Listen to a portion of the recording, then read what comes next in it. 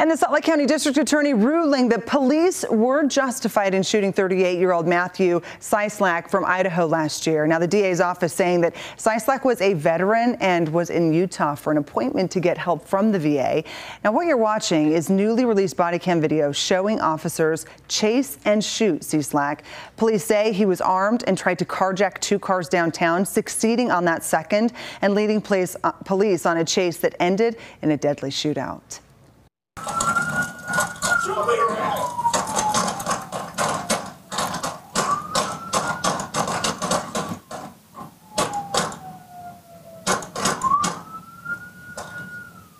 Shots fired! Shots fired!